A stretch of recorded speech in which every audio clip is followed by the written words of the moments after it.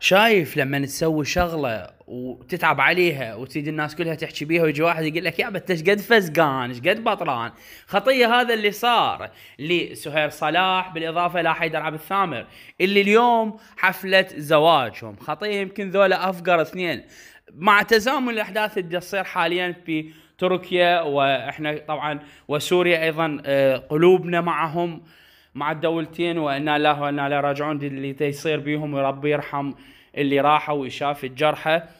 أه لكن انتشر خبر ومقاطع في مثل تشوفون أمامكم حفل الزواج الفنانين أه حيدر عبد الثامر بالإضافة إلى سهير صلاح. صحيح هم ما بيدهم شيء وما يعلمون الغيب بس كان الأجدر والمفروض خصوصا إنه العرس مالتهم سووه بتركيا إنه شوية يأجلونه ما بيها شيء عادي يعني مثل ما أنتم سويتوا حفلة الز... الخطوبة ورا شهر الحنة ورا ثلاثة اشهر الزواج تقدرون تاجلونها لكن سعادتكم فرحتكم إن شاء الله تكمل وألف ألف مبروك بالرفاه والبنين.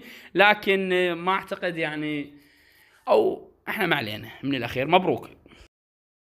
وألف مبروك لقناة وسام فراس اللي فاز ويانا بحلقة دعم لهذا اليوم. قناة كلش حلوة تخبل تصاميم بالإضافة إلى ألعاب مال بوبجي. شلون فاز ويانا فراس؟ طبق الشروط وفوز ويانا مبروك عليه. إذا تريد أنت أيضا تفوز لا عليك إنه فقط تشترك أو تطبق الشروط اللي هي كل سهلة. تشترك بقناة وسام فراس اللي خالك إياها بالتعليق المثبت. وتجيني على حساب الإنستغرام تقول لي إنه أنت اشتركت وإلا أشوف تعليقك فعلا. وما راح تشترك راح. أسوي لك دعم. ما عليه غير انه تراسلني على حساب الانستغرام بعد ما تشترك بقناة وسام فراسي اللي موجودة بالتعليق المثبت وحساب الانستغرام أيضا بالتعليق المثبت.